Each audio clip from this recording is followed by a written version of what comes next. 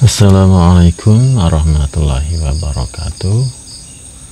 Kali ini kita akan mencoba untuk unboxing ya. Unboxing CD adapter. Jadi nantinya kita akan menggunakan eh, CD atau DVD ya dari laptop Untuk dijadikan eh, DVD eksternal karena untuk zaman-zaman sekarang eh, casing PC itu enggak ada untuk dudukan DVD-nya ya. Jadi untuk sekarang kayaknya musimnya pakai DVD eksternal aja. Dan untuk kabel adapternya kayak gini ya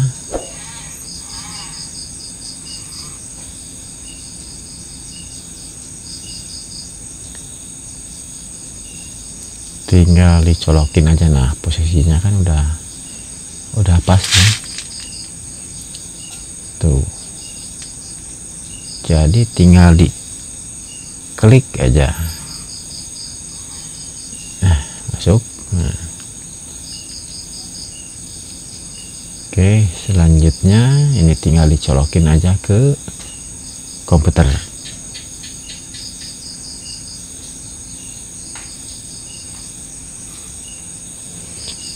dan untuk adapter ini saya rasa perlu ya karena eh, kadang-kadang eh, data-data kita itu tersimpan di dalam eh, DVD dalam kaset-kaset ya. Kalau masalahnya kalau dulu mainnya main kaset untuk backup backup itu karena kelebihan backup di DVD itu dia nggak apa nggak kemakan virus nggak nggak cepat rusak.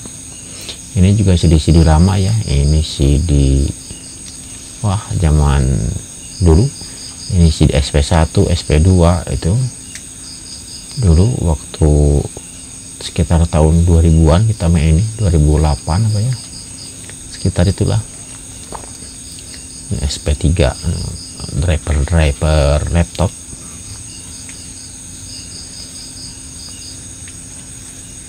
tuh Opis juga masih 2003 ini sebagai kenang-kenangan aja nih.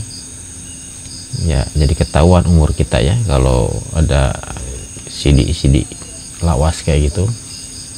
Ini tornado ini untuk wifi PSHP ya.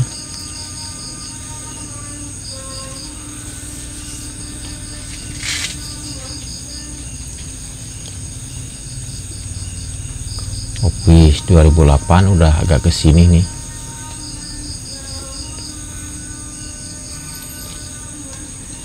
banyak sih CD-CD kita. Ini CD-CD buat perbaikan HP kalau ini ya untuk untuk data-data program. Jadi saya membeli adapter ini karena banyak data yang tersimpan di DVD ya terutama tutorial-tutorial.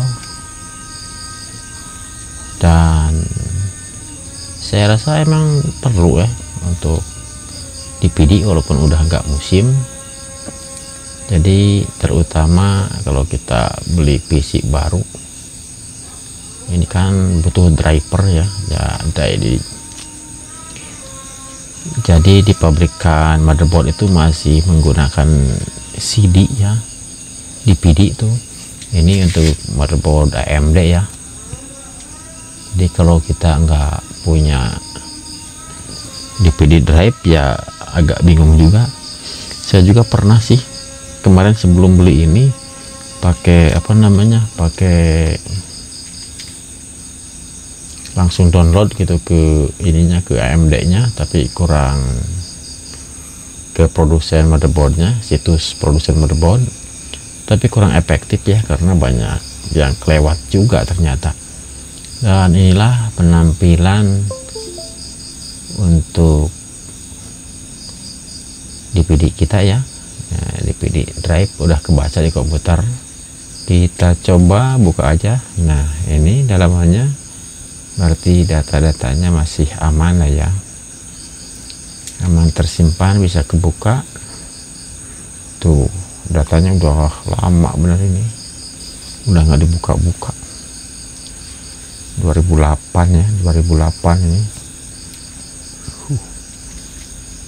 2008 cukup lama. Tapi kalau zaman sekarang biasanya kan nggak pakai kayak gini ya update backup backup itu tapi di tahun nah, tahun 2008 itu emang populernya CD sih.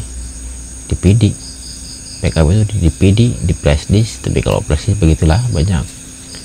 Banyak rusak banyak kena virus juga.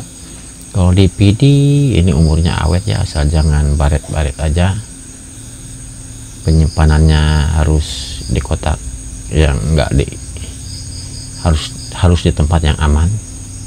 Jadi walaupun bertahun-tahun ini dari 2008 sekarang udah berapa udah berapa 22 udah berapa belas tahun ya masih aman terjaga ya kalau di PD oke mudah-mudahan ada manfaatnya. Silahkan subscribe yang belum subscribe dan tekan loncengnya biar tidak ketinggalan menerima update dari channel ini. Dan selamat menonton video berikutnya. Assalamualaikum warahmatullahi